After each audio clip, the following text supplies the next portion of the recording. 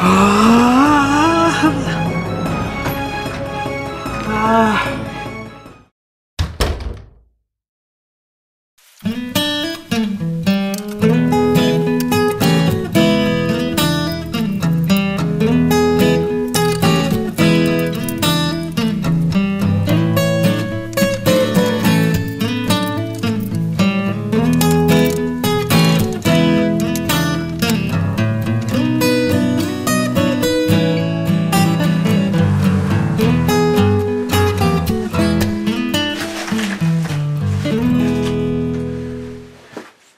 はい、いかがでしょうか？えー、フロアタームじゃないよ。ハイハットスタンドのですね、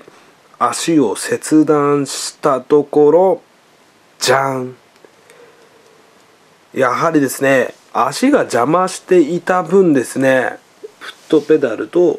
ハイハットスタンド、もうかなりね、もう密着できている状態になりました。うん、もう全くこれで、えー、何の不満もないですね。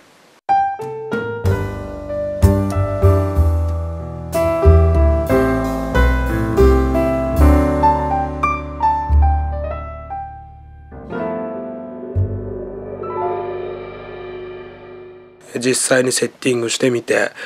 えー、使用感っていうのをねちょっと試してみたいなっていうのがあります。うん。切った回ありましたね。バッチシです。前編と後編にね分ける必要なかったかなっていうぐらいですね、えー、サクッと撮影終わりました。ハイハットスタンドのね、えー、足を切ってね、ツーバスハイハットアタッチメントかましてね、えー、設置しました。次はねツーバスじゃない時用のセットのね、えー、ハイハットスタンドをね 買わなきゃいけないんですけど、まあ、ちょっとね足を切り落としてしまったちょっとかわいそうではあるんですけどね HS1200 っていうねハイハットスタンドを使ってるんですけどまあねそれをもう一回ね買ってみようかなと買おうかなと思ってますね。彼ね足3本あったのをね全部切ってしまったんでね、えー、彼はかわいそうなんでね。なるべくねツーバスを使って、えー、彼ね HS1200 足を切ってしまったね。HS1200 のね出番をねちょっとでもね増やしてあげたいなと思ってます。前編後編にね、えー、無駄に分けてしまってね今無駄に喋ってますけれども。これからもねこのチャンネルではね辻がね、えー、もうダラダラと喋るビデオブログシリーズとね、まあ、なんかこういうドラムに限らずね何かこういろんな挑戦をねしてみる